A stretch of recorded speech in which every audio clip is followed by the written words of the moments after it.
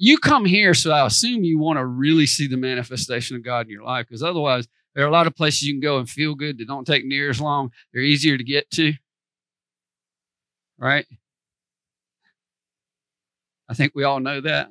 Better buildings, right? Better, maybe better cafe, better Danishes in the morning and all that kind of stuff, right? Amen. Amen. That's perfect for some people. I'm not down in it, but you gotta, we gotta realize something.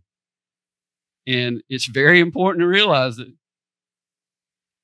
there are places that people get brought into the kingdom of God. Right? Guess what? You come into the kingdom of God in the natural. That's why the natural stuff works to bring people into the kingdom of God. They're not born of the Spirit. So they're just looking at the good things the world has to offer. And they're saying, wow, Danishes, all this kind of stuff, you know, coffee, it's great. And I'm not against it. I love it, want us to have it here. All right. Well, we're going to have both. But think about this for a minute. When people get born again, it's a fleshly thing. They hear the gospel with their ears. They don't understand it in the spirit. They're still dead in the spirit. So we have to have that element in the church. But guys, we're in serious danger in the church, especially in the United States, of that being the only element that we have. That can't last. That'll never last. There are movies out right now about how that won't last. You go see them, you'll see exactly what I'm talking about.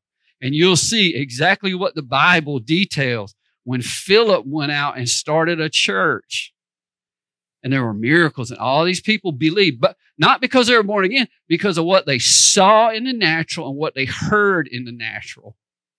So they, they received Christ and then were born again. But you know what? Philip could not take them further. He couldn't order the house. He couldn't teach them how to truly walk with God. His ministry was what it was. Amen. 90% of denominational ministry today is that way. Not against it. That's how people funnel into the church of God. That's got to be the biggest part of the funnel. You understand? The net is the biggest at the opening where everybody's coming in, right? But you got to have the rest of the net or they just out the back. That makes sense. Amen.